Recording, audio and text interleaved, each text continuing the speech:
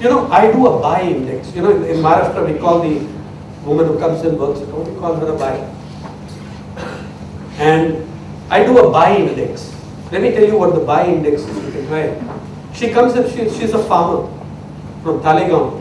Farming cannot sustain her anymore. She's come to Mumbai. She and I are both migrants. We both came to Mumbai around the same time. In the last, in the last 30 years, maybe she's been there less time than I am. Everything that was, everything that is important in my life has become cheaper. Everything that is important in the boy's life has become more expensive. When I, in 1991, I bought my first personal computer. It caused a riot in my street. I used to work in Blitz Weekly. People came to see it like they were on a pilgrimage visiting a, you know, the lingam of Badrinath or whatever. You know what was sexy about that PC? It was a PC80 and it had a 20 megabyte hard disk. It cost 52,000 rupees. Today, you can get a phone costing 5,000 rupees that is 4,000 times more powerful than that PC. It's become cheaper for me. Air tickets have become incredibly more accessible to me than they were in 1984 when I was in Blitz and Bhopal gas, 83 when the Bhopal gas tragedy occurred. We debated for hours in the office whether we send photographer and reporter by plane or by train because air tickets. Today 40, 50 air tickets are routine for each one of us at our level of journalism.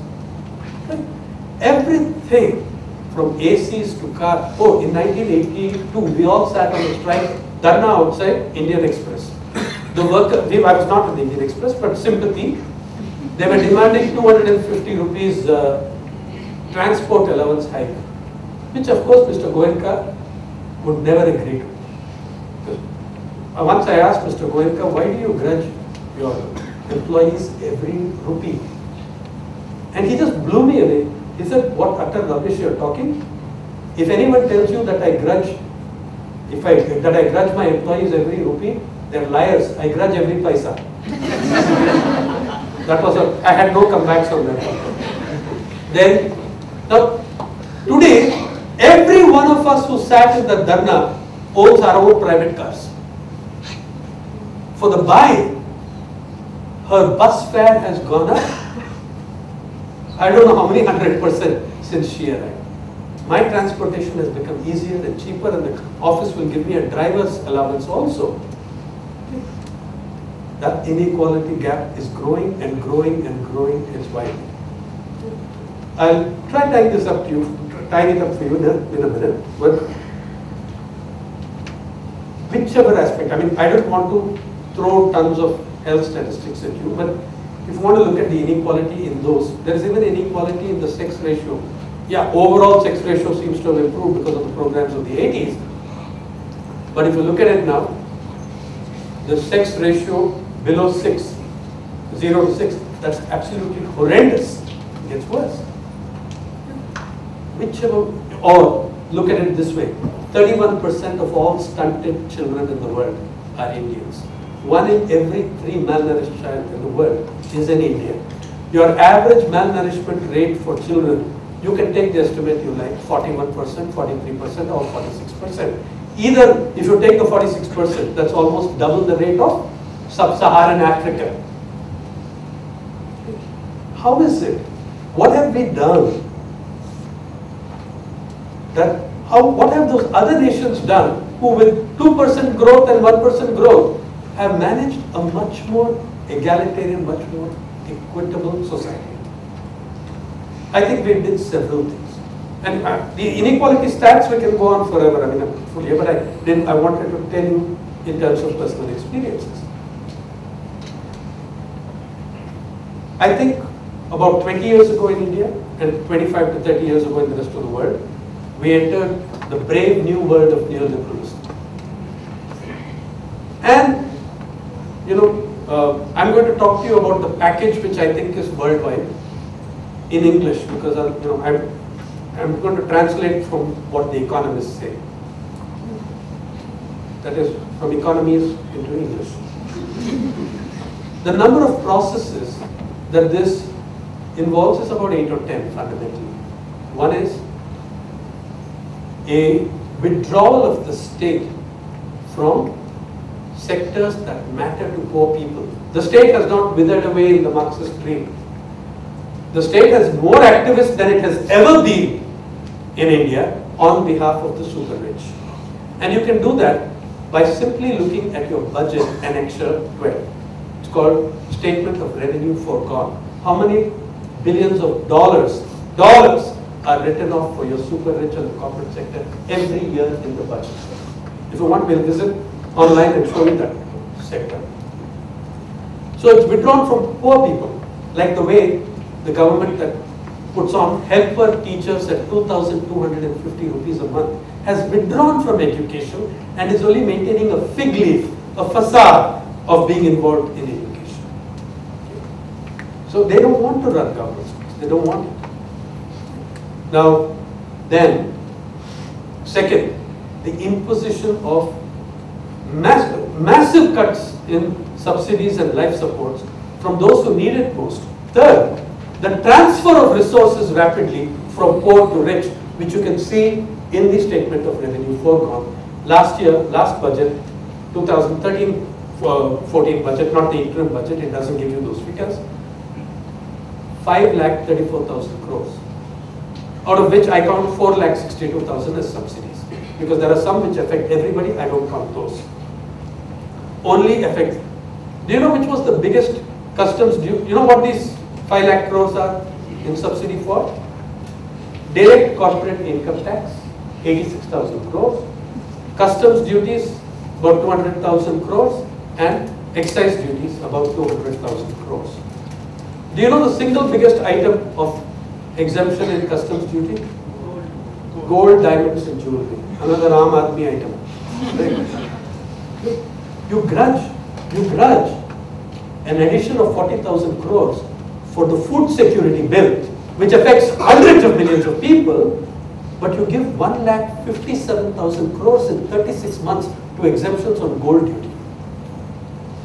The money is there, guys. Make no mistake about it. I could raise 10 lakhs, 10, uh, 10 lakh crores out of your budget without much sweat. And also, all that has to happen is people have to pay their taxes. Not you, the super rich. The middle class, the, the salaried people are the only ones who actually pay income tax because it's deducted at source and therefore we can afford to be very virtuous about it. Right? Because we didn't have a choice. It's being taken anyway. So, the transfer of resources from poor to rich, the rapid privatization of just about everything, including intellect and soul.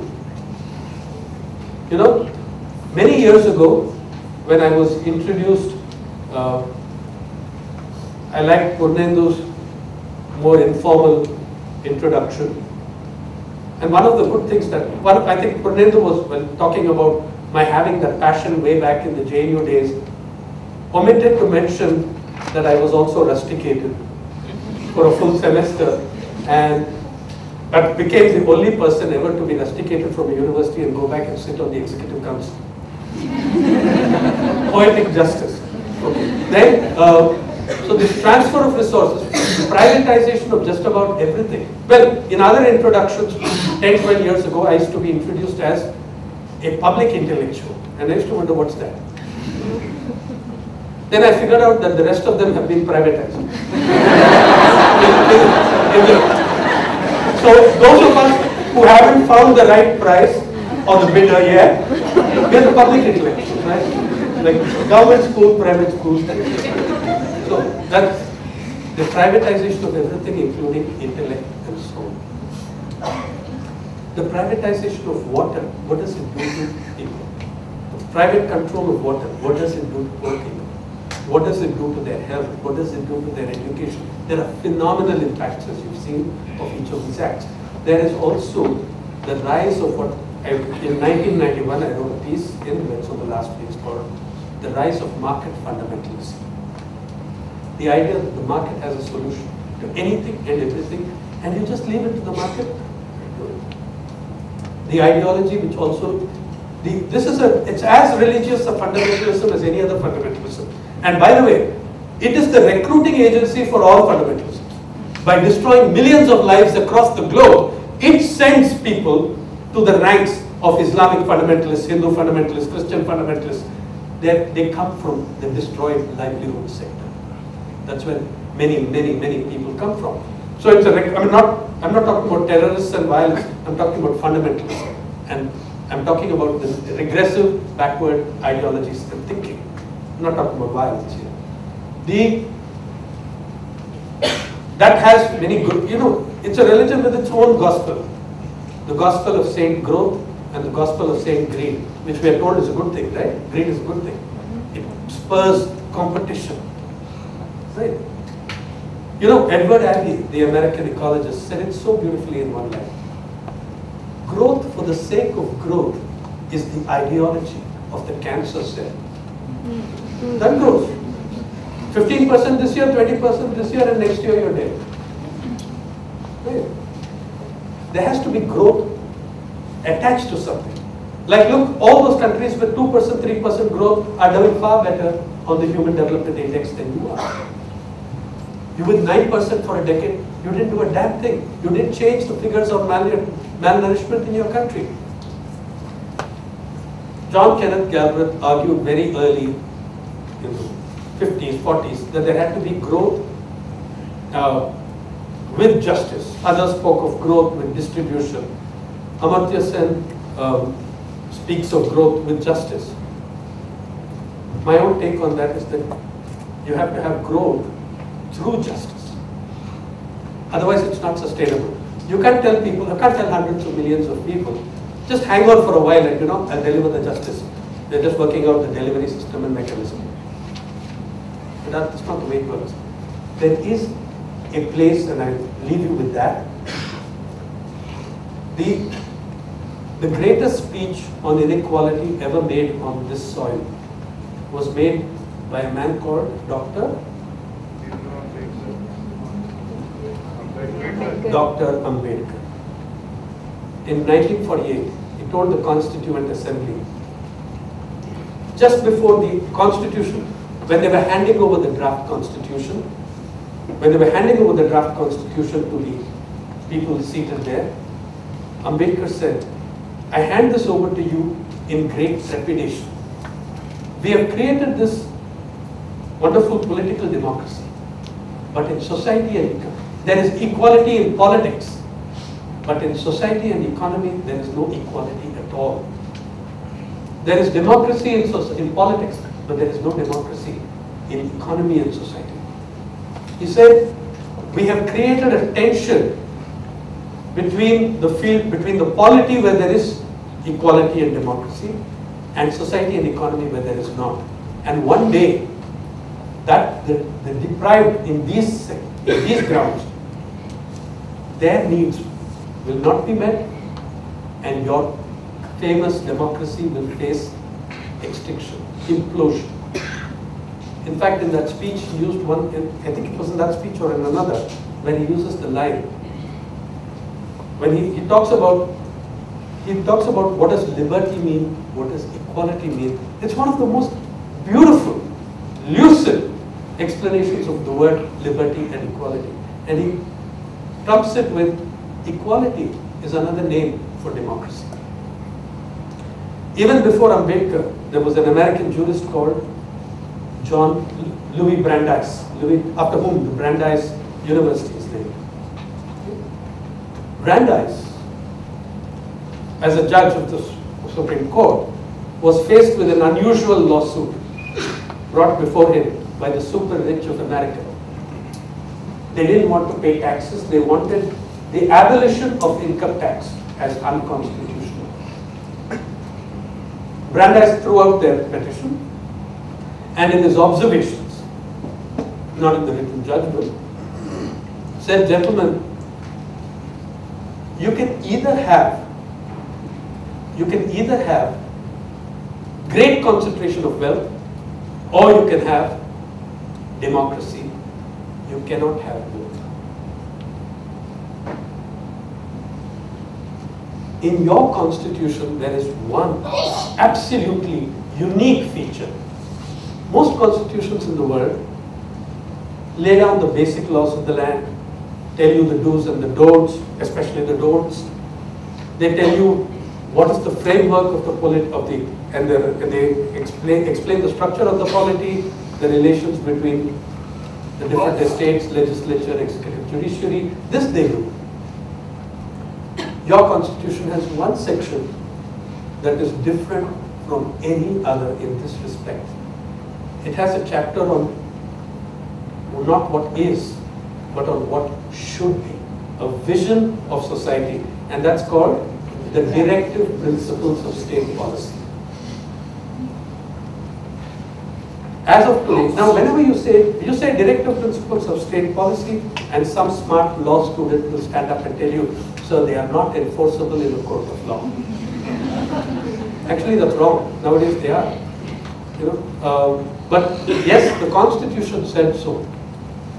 But please read that clause fully. The, you know what the directive principles, the first thing they say, the state shall in particular try, strive to eradicate inequality, to mitigate inequality, to reduce social, economic, political inequalities. That's what the directive principles say. The first principle, the first paragraph, which says not enforceable, not justiciable in a law court, says, also if you read the full sentence, it says, however, these principles are fundamental to the governance of the nation and must inform state policy. The government must, the state must be informed in its policies. Now, these are a rambling bunch of principles, but there are four or five of them which matter on health, on nutrition, on food, on hunger, on employment, on education. We've already taken two of these principles and truncated them. Truncated them. They're, they're really bastardized by what we've done in legislation. The Food Security Bill and the RTE represent a truncated, amputated version of the directive principle.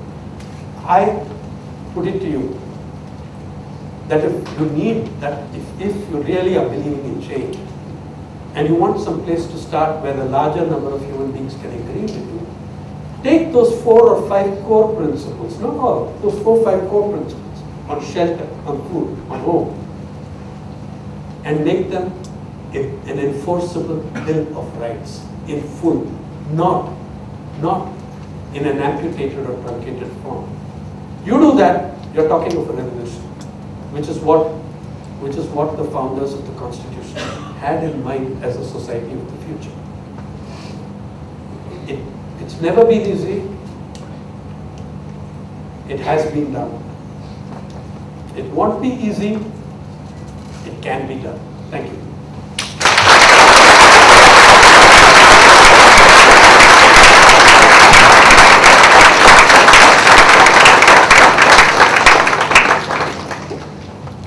Questions? Uh, I have a question like uh, whatever inequality we have and uh, till last 65 years we are facing these challenges. So would you feel the, uh, this decentralization or uh, this Gandhi model of governance could be a solution? Okay, maybe I should take two, three questions at one time and else. Okay, I got that. Decentralization. Yeah.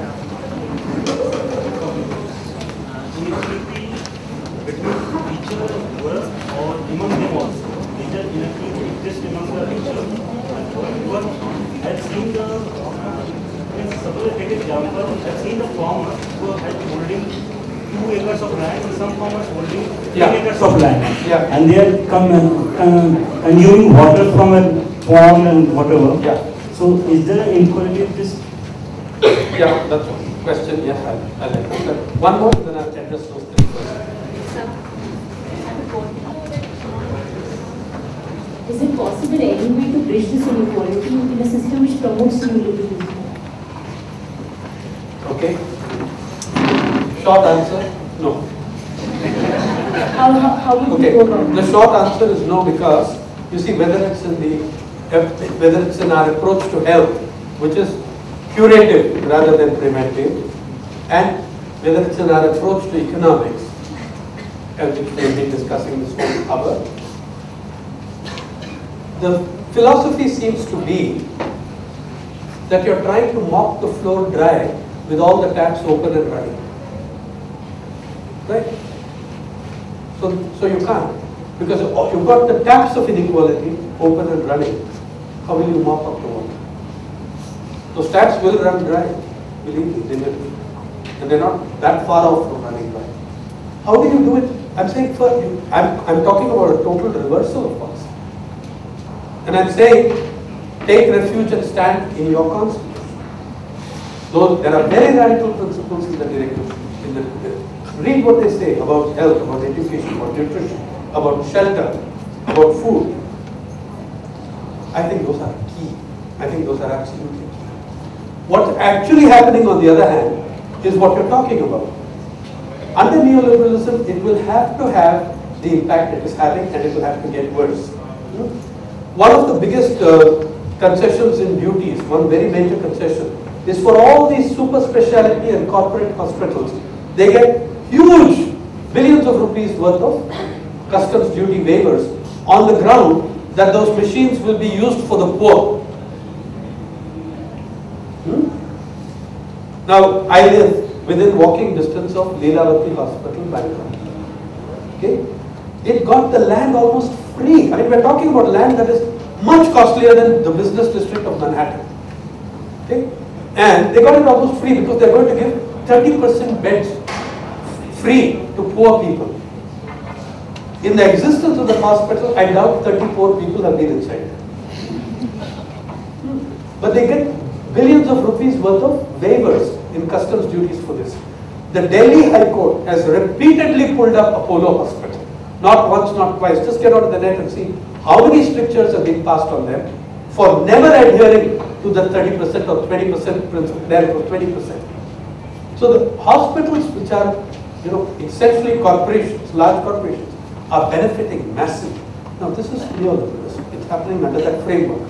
Another thing that's happening in the countryside, for instance, you know, people, you know, though we think about, we, we talk about our indigenous medical sciences, etc., but the rural Indian is mesmerized by allopathy and machinery.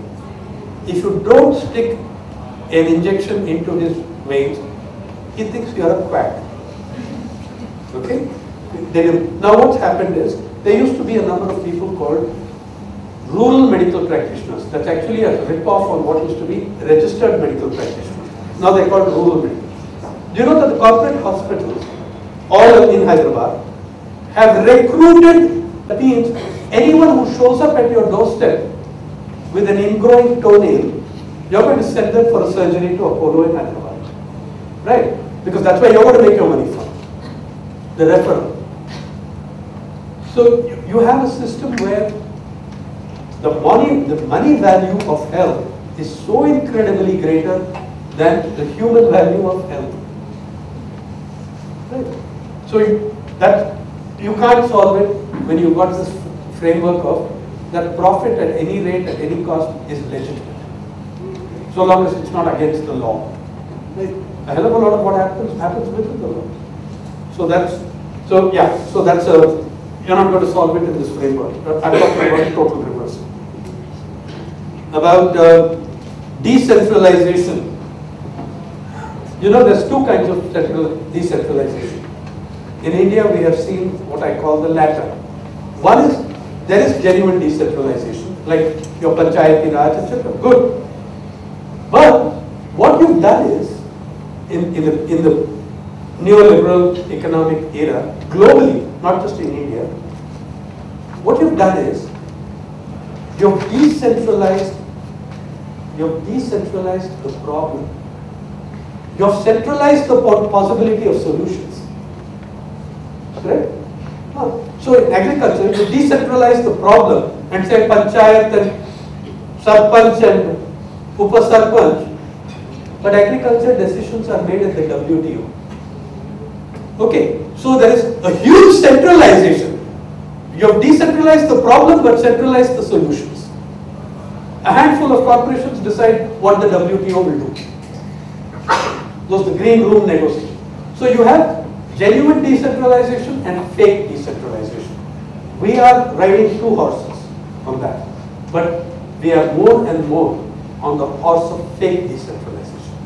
What I do is by, I absolve myself of the responsibility of looking at your problem by saying, Panchayat, you're the sarpanch, you solve the problem. That woman who has become the sarpanch, she's going to solve a problem which is being renegotiated and made worse in Geneva in the WTO. That's fake decentralization. There is a gigantic centralization of power of to solve problems, and there's a decentralization of the problem. Yeah, so you can do. Do I believe that decentralization is necessary? Yes, but I'm saying that is a that is according to your genius in that region, in that place, how you run it. There are also other issues. Even in decentralized, in the Panchayati Raj, there are also many conflicts and contradictions which we have not been able to overcome. For instance, the uh, caste issue. You know, how, how powerfully, how excluded the weaker groups socially can be inside the panchayat. It's astonishing how weak they can be. I'll give you one example. Haryana. All, uh, you know, so the panchayat is dominated by Dalit women, landless laborers. The Upa Sarpanch was the traditional Sarpanch, traditional head, headman of the village. Hmm. He is a Jat or a. Okay? Now, if they do any voting on many of the issues of the village, the Dalit women will win every time. So you know how they do it? They do voting.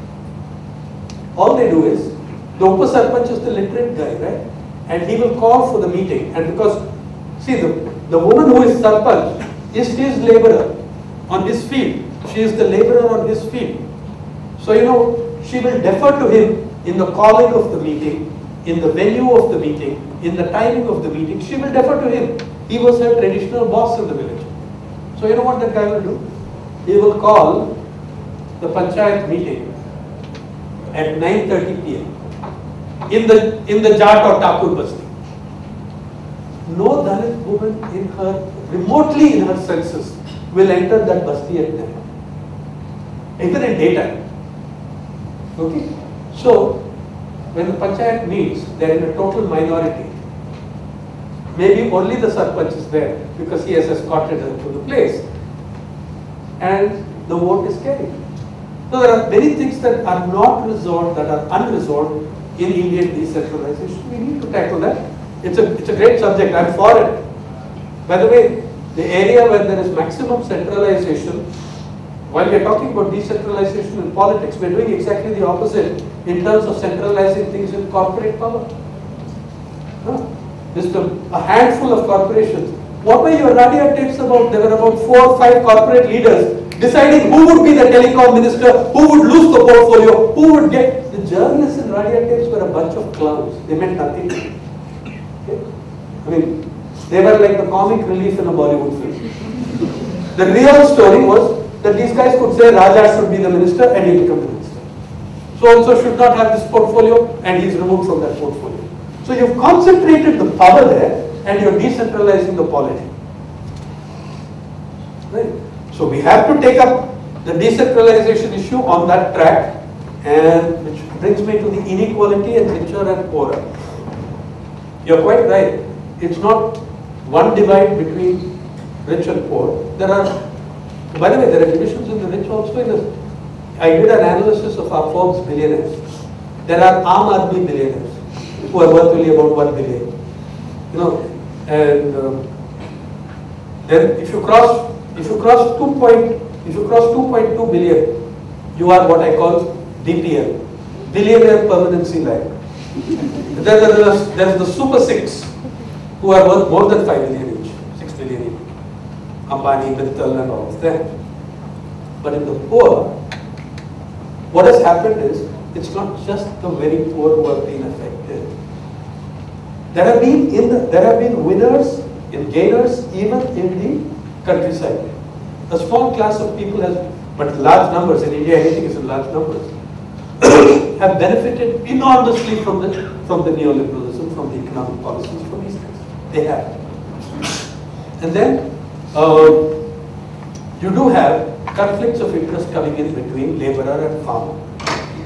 Okay? Again, there are, there are broad policies that affect all of them. You can unite them on those. I, for instance, believe, like in the NREGS, as you know, many farmers have complained that it is hurting us. Actually, that's bullshit. Firstly, because much higher wages are paid in construction than in NREGS. And in Maharashtra, for instance, NREGS is a zero performer, Maharashtra. So the people have gone off and the wages have risen because of construction. But what NREGS has done, which is good for the poor, has it has set a floor level. You can't go below this. I have an option. Therefore, you know, people might people might prefer to work for 20 rupees, 30 rupees less if they can remain in their village with their family. So that's that's another thing. You can tackle those conflicts. You can tackle those inequities within the poor, but you can't tackle it unless you actually reverse the entire framework, until you actually drive out the entire framework. The inequalities that are introduced will have inequality amongst the poor as well. It will sharpen those inequalities. It'll make, it'll make some people far more, far less privileged than they were earlier. It will make some people a tiny the fraction more privileged. Let me give you an example. In the last year, in the last decade, how many of you know this that in the last two decades, there are 15 million less farmers in India?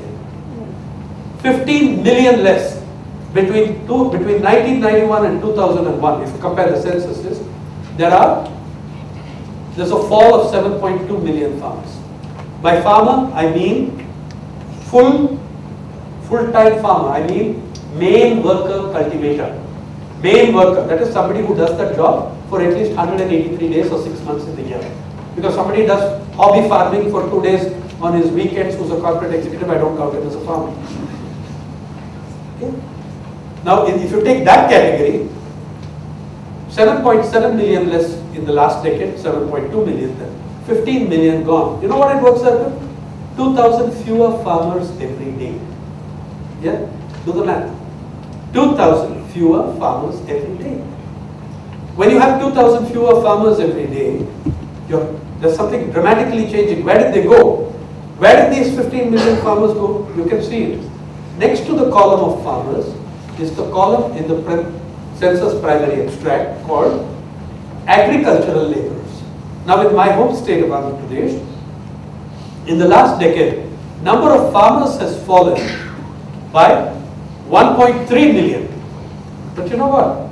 Number of agricultural laborers has gone up by 3.4 million. So it means that a lot of farmers have lost their status as main cultivators and fallen into the ranks of the agrarian underclass. So I'm saying new inequities are being built within the inequities. And some of the relatively better off are not doing so well anymore. Some are doing brilliantly. So inequality within the poorer side of the spectrum, complex question. But there are broad issues without addressing which you cannot even get into them.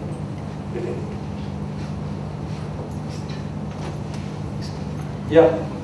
Can you ask for the mic? Yeah. Uh, sir, you talked about the farmer suicide. So I have a question on farmer suicide. So since during the period of 1995 to 2011, there were many farmer suicides. Mm. So that is due to deregulation in agriculture and export-based growth uh, promoted by the successful government after that. So my question is how the foreign trade policies have affected the uh, Indian farmers. And I have another question. Uh, sir, I come from Anantapur district in Andhra Pradesh. Uh, so uh, the Arogyasri scheme that was launched by the government of Andhra Pradesh is regarded as a pro-friendly health scheme for the poor uh, people in Andhra Pradesh. So uh, what is your take on that? Okay. First, uh, on the farmer's suicide. We start keeping farm data in the National Crime Records Bureau in 95. 95 to 2012, last year for which data is available. 2013 data should come around June, July. That's 18 years of data. In 18 years of data, 18 years for which data are available, there have been at least, according to the NCRB, 2 lakh 84,694 farmers suicide. a news, a news agency guy like myself always says at least. Know? Because we know that there are a hell of a lot that are not counted. And also if you don't start with a number. Uh, now we have two things we can do. We can take those 18 years and divide them into 9 years and 9 years and see which year 9 years have been worse. Then you'll know whether it's getting better or it's getting worse. The second 9 years are much worse than the first 9 years. There will be years when the number of suicides drops. Don't go on one off. Take 3 year averages, take 5 year averages. That's a better way of doing it. Uh, 18 years, by the way, that's an average of 16,000 something per year. Now, how was that affected by policies and foreign trade policy? At many levels. One, as I said, a lot of decisions on agriculture, including the recent one at Bali on your food security bill, these decisions are taken, these are corporate driven decisions taken at the WTO level and maybe again at the GA. Okay, these are corporate driven decisions. The corporations have what is called a green room background in the uh, uh, backgrounding in the WTO where many decisions are taken. Now it becomes a game of how subsidies are defined. Your subsidy is my life support. Your terrorist is my freedom fighter. In United States, the biggest subsidies in the world in agriculture, the biggest subsidies in the world come from the United States and European Union. That has destroyed millions of poor farmers across the world. By the way, let me make my position very clear. I don't believe that agriculture can exist without subsidies. Show me the country or island in this planet or in the Milky Way galaxy where agriculture is not subsidized. Name the country. I'll tell you the subsidy. Cuba, Cuba, there is huge state intervention in agriculture. That's what I said. It becomes a game of how you define subsidy, how you define life support. Hmm? So th- these are these are. Let me give you an idea. Cotton. Who are the single largest group of farm suicides in India? Cotton farmers. So, and by the way, overwhelmingly the farmers who commit suicide are cash crop farmers, not food crop. At the end of the day, you, you can still eat your paddy. Cotton's a bit hard to digest. So when, when, when you're screwed on the price then, you're dead. The US started giving huge subsidies in cotton from 98 onwards. At that time on the Chicago Cotton Exchange, the price of one pound of cotton was about 90 to 110 cents depending on the quality. With the huge subsidies these guys started throwing down, the prices of cotton started down massively. Your advantage in Vidarbha and other cotton growing areas was that you produced the cotton so much cheaper. Right? Now what happens is, as US starts putting subsidies, EU also starts putting subsidies. Right? EU has only two countries that can grow cotton, Spain and Portugal. Nobody else has the climate for it. But then they have to match the US subsidies, so they do that. The cotton price goes down to 35, 38 cents a pound. Okay? And the first wave of cotton farmer suicides takes place across the world from Vidarbha to Benin to Chad to uh, Burkina Faso and Mali. All those are countries where cotton is their meal ticket. The price collapses, the cotton price collapses across the world with that kind of subsidy. By 2005-6, the amount of subsidy given by the United States to cotton, not, by the way, it's giving that subsidy not to farmers, to businesses. Okay? The amount of subsidy given by, by the United States to cotton in the US is greater than the total market value of the cotton by about a billion dollars. So imagine what it does to the prices of farmers growing cotton cheaply, efficiently, without with less chemicals, with low, you know, minimal technology, and growing it in Chad, Benin, everywhere else. They're finished. So it's finished at that level, it's finished at the WTO level. Third, agricultural commodities are The trade in agricultural commodities is dominated by half a dozen big corporations at the global level. In the case of coffee, that's four companies, four companies. In the case of cotton, it's a handful of companies. Okay.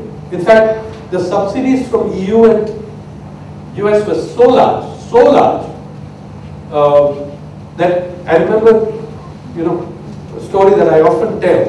Vijay Jawandhia, the outstanding agrarian intellectual of Maharashtra, asked by a young reporter, he was reading about the subsidies in the Economic Times or somewhere of Europe. Asked by the cotton, uh, asked by the reporter, Mr. Javandia, what is the dream of the Indian farmer? He said, the dream of the Indian farmer is to be born a European cow. because that cow gets three dollars a day worth of subsidy. Now they've changed that, and by the way, farmers are committing suicide in very large numbers in France, biggest farming country in Europe. Worldwide, it's not just on the developing countries, small farming is under the assault of corporate farming. If you want to sum up the agrarian crisis in five words, the drive towards corporate farming. Today in agriculture, every sector of agriculture, except the daily act of cultivation and ownership of land, is in the hands of corporates. Who controls pesticide? Farmer? Who controls seed? One company controls 30% of cotton seed in the world, 30% of seed in the world. Who controls fertilizer? Farmer? Who controls the retail markets? Who controls the credit? The cold storage. Every single thing has been cornered by corporate. That is the rise of the unprecedented, one of those processes that I spoke of in our time is the unprecedented rise of corporate power. So all those policies fitted in, we, oh, we these policies were not forced on us, okay? We embraced them willingly.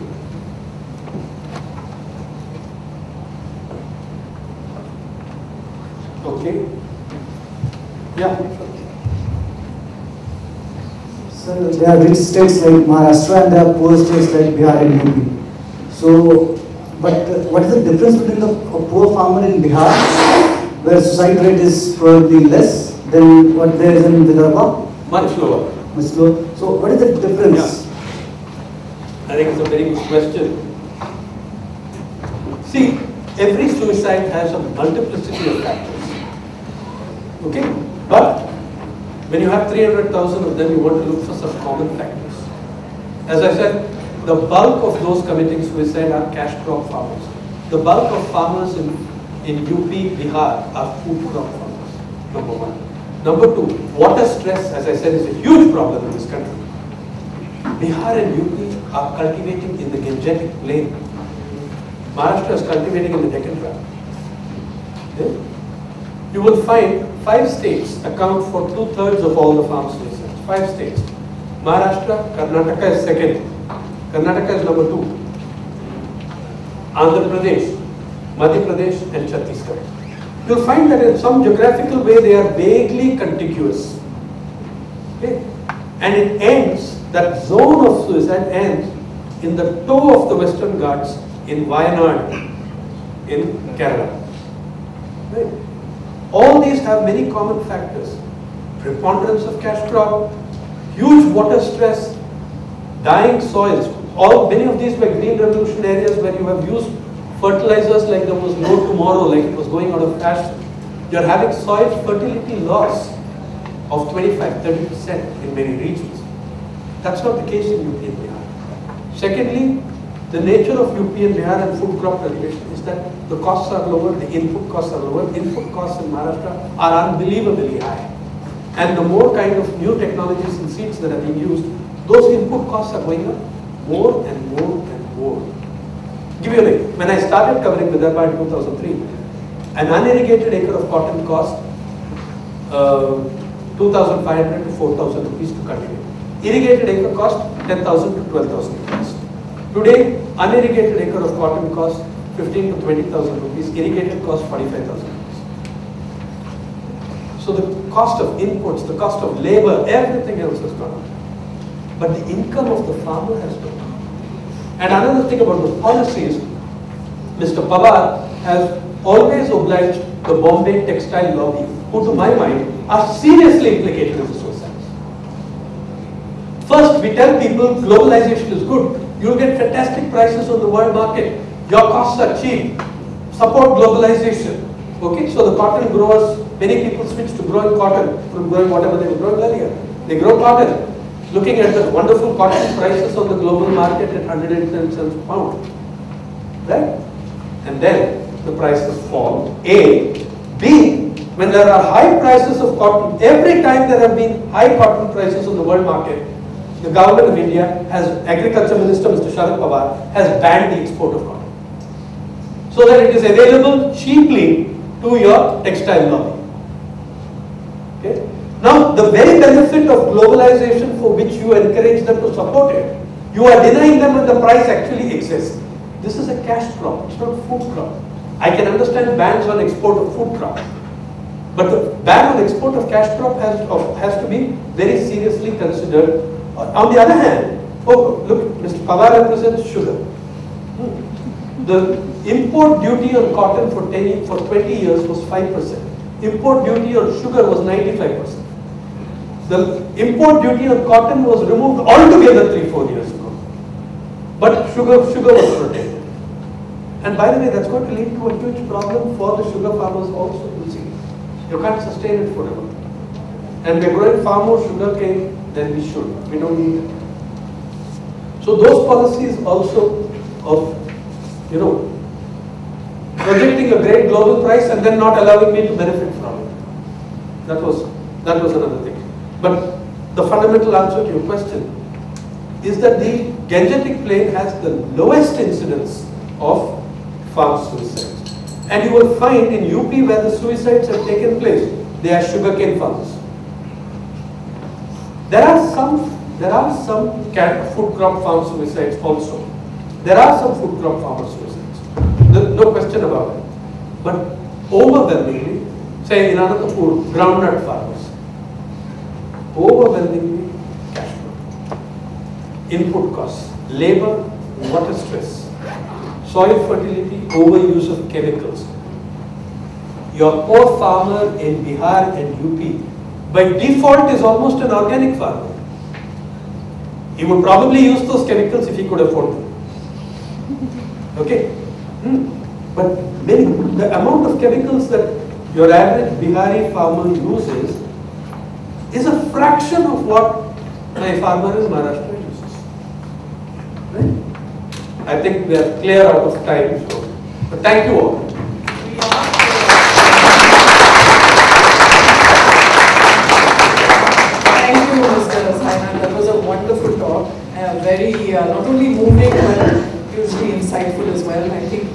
All had an extremely uh, educative afternoon. Um, uh, I'd like to remind everyone that Mr. Sainath will be here with us tomorrow again at 2 p.m.